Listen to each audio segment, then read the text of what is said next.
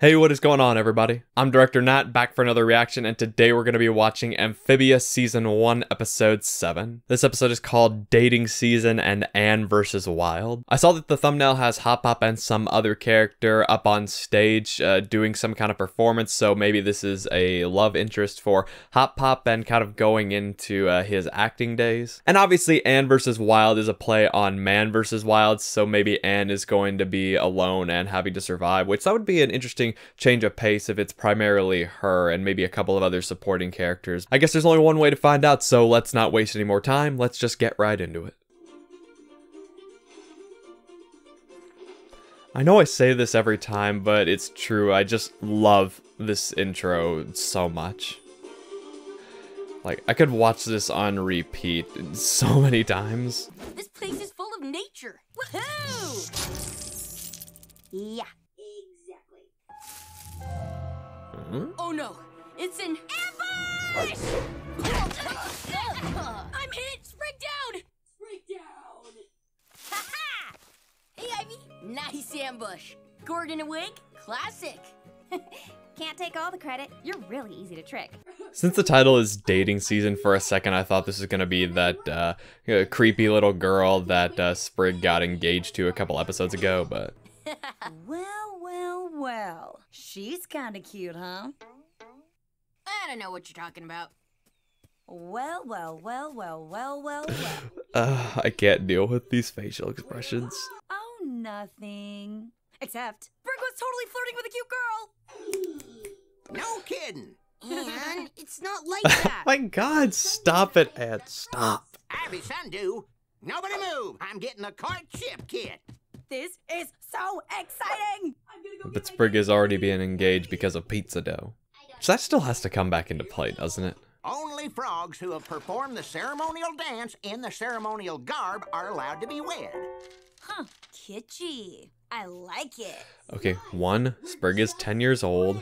Two, you cannot force relationships. Or can we? She gave me this nifty ring. Forget her. Oh. Was he just referencing that other girl? Uh, whatever. If our families merge, we'll be rich. Wow. And you trust these things? Definitely. Magazines never lie. Could Ivy be my eternal love? Well, we're about to find out, because I already asked her family. Mm-hmm, mm-hmm, mm-hmm. They agreed to a date. What do you want? Oh, your tip. All right, here you go. Don't take too much, though. I have chores to do later. Stop struggling. Just a little. so it wasn't Hop Pop in that garb. You It's look Sprig. incredible. I just assumed it was Hop Pop since he's a failed actor. Rude much. All right, boy, go get that lucrative business relationship. I mean, romantic relationship. Saved it. Mm, Hey. Hi. hey. Hi. You're looking like a girl frog. Oh, okay. Uh. Uh, caller. Well, this is pretty awkward. This is so exciting. I wonder what their ship name will be. I think Sprig Ivy? What are you even saying? Okay, they have got to do a crossover with Owl House at some point. These two have to meet. Excuse me, everybody, but I hear we have a couple of love doves here tonight. Uh. Hopediah Plantar says, Sprig, don't mess this up for us. And Felicia Sundew would like Ivy too. Have a great courtship. Wink. It says wink here. Love, Mom. All right then. Hit it, boys. That guy sounds familiar. Uh, is he the voice actor who played that uh, one alien in uh, Lilo and Stitch? I had no idea you felt this way about me, Sprig. Oh, sure. Didn't you know two thirds of all mates start with souls? Ooh la la. The little love doves are sneaking off into the woods. You know what that means. It means Again, they are 10. if those two don't finish that dance, Then this courtship will be ruined, along with my financial security. Wait, what? We cannot let them waste this chance. Can they really not do it at a later point? And wait a minute, if Sprig was engaged to that other girl, then don't they also have to do the dance, but then that is a bug. I'm overthinking it. What's? Whoa. Love doves. Don't move or we're dead. What? I thought they were all romantic and mate for life. Yeah, and they spend that life massacring all living things.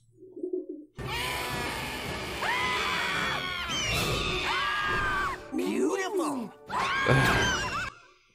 Guys, it says here that our relationships define us and nothing else.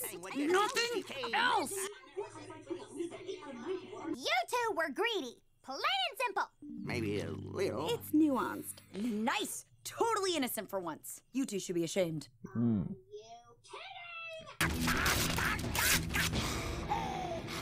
Wow, I feel lighter somehow. More free. Mm-hmm. On the count of three. One, two, Sprig. Ambush! You are learning well. Sprig, next time we won't get the courtship kit out until you're good and ready. Now I can focus on finding love for Polly. Now you and Ivy can go back to being just friends. Yep.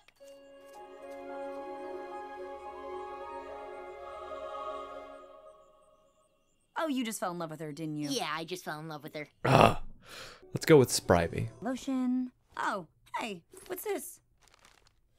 Oh my gosh. Guys! I brought a bathrobe from home and didn't even know it. Or what? The three of us are going to Camp Flemington. Wait, without me? Sure are. When we Plantars camp, we camp hard. You're soft, Dad, like a baby. Really, you should be glad you're not one of us. That's ridiculous. Just because I'm not a Plantar doesn't mean I can't have a good time with you guys. Take me with you. Please, please, please. Well, all right, kid, hop on. Woo, woo. Since you're coming with us, we gotta lather you up with this skunk. Only way to keep the ticks away. Here we go. Ah, and back around. Oh, looks like I missed a spot. Totally not regretting this. So much fresh air and it's all mine. I personally love the peace and quiet. A frog can really hear themselves think out here. Did you leave the stove on? The front door unlocked? Will you die alone? Well, that was a mistake. you sure you want to Is Hop Pop the most relatable character to me now? Huh, maybe I should try some of that thinking. Are you forgetting something? Does the car need gas? Will your dreams go unfulfilled? Well, that was a mistake.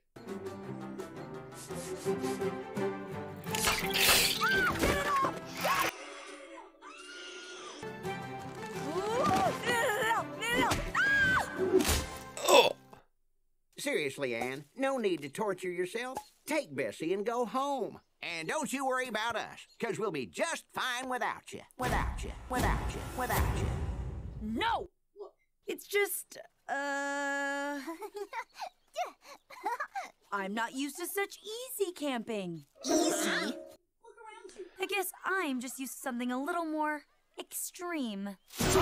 This place ain't extreme enough for ya. Dang right it ain't!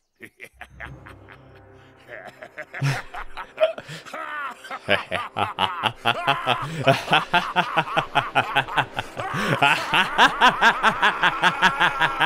can take you.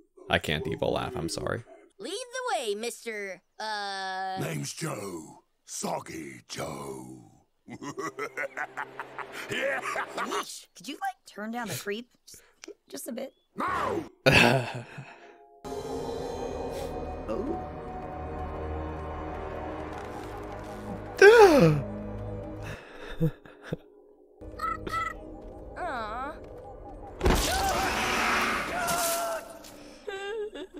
God, this show is dark! Oh, you have no idea. It's the Mudman! Something tells me this has got to be a prank or setup. wonder if maybe Hop Pop and the others are behind it. About now. for heck, cleaning products. I have something even better. Peony Princess Bath Bomb! Goodbye, dear friend.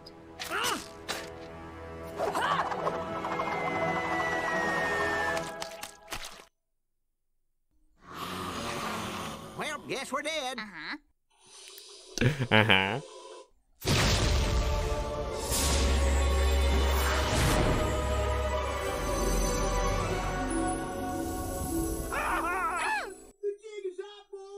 Man, all I wanted to do today was get muddy and eat people. Oh, is that the artwork that's always on Disney Plus? Wow. I'm not a Plantar. Heck, I wasn't even invited on this trip. I really like you guys and wanted to be with you. Miserable or not. I don't know if it's the sweet smelling toxins. Next time we'll include you, Anne, even if we know you'll hate it. Thanks, you guys. Ah! Woo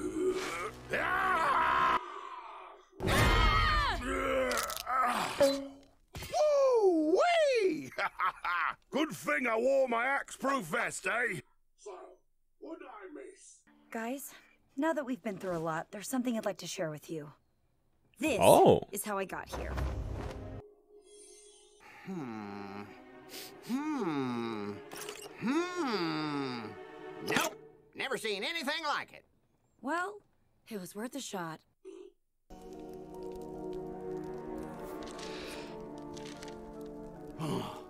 It's just as I feared. Oh my god.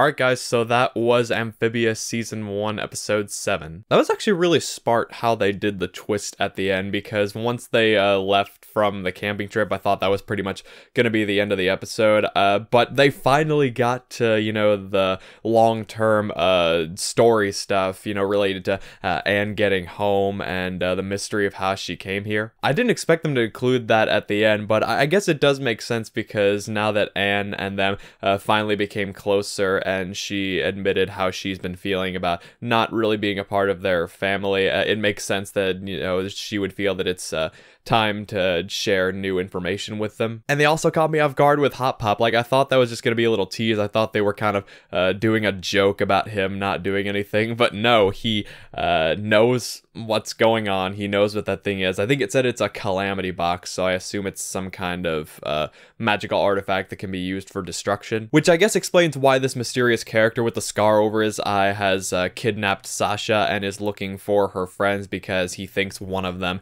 has the box, and if he gets it, then he could use it for some kind of evil plan. It also reminds me of something from another show, which, real quick, I'm going to talk spoilers for Gravity Falls. So if you've never seen that show and you don't want to get spoilers, I highly recommend that you go watch it. Uh, otherwise, skip to this point in the video. Because in Gravity Falls, there was also an overarching mystery regarding the journals and who the author was and stuff like that. And then eventually in the show, they reveal that Stan was uh, keeping secrets from Dipper and Mabel, that he had one of the secret journals and uh, it tied into the overall plot of the show. And this is what that reminded me of. Hop Pop is kind of like the Grunkle Stan uh, keeping something in a journal secret about uh, some kind of powerful thing that has the potential to destroy the universe, I guess. Makes me wonder what else this show might have in common with Gravity Falls. But okay, no more spoilers for Gravity Falls. We can now move on. As for the rest of the episodes, I really enjoyed them as always. I thought it was cool seeing one of Sprig's other friends, which again, if I'm getting nitpicky, I thought that he didn't really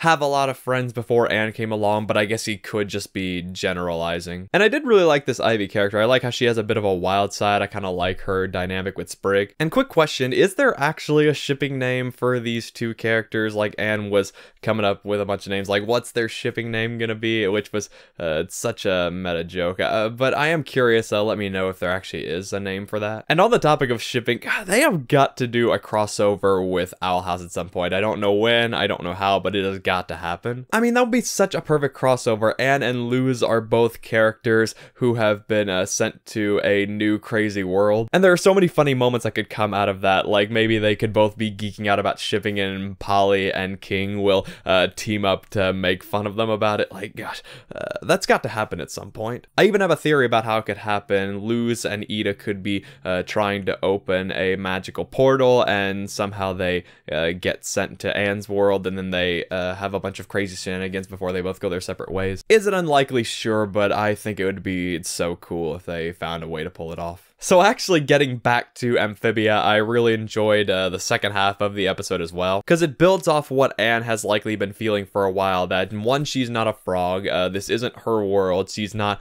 really a Plantar, and uh, they've, you know, kind of had a lot of episodes dealing with those things. So when they're going on a special camping trip and they automatically assume that she shouldn't go or wouldn't want to go, uh, it would make sense that she would want to prove herself, so I thought it was uh, really cool that they focus on that. And obviously there are a lot of fun and hilarious moments with them uh, camping, especially when this uh, hardcore camper guy shows up and they get into all these dangerous situations. Actually, before I forget going back to the first half of the episodes, like all those uh, facial expressions that uh, Anne was making when uh, she was found out that Sprig uh, might be in love with this girl, like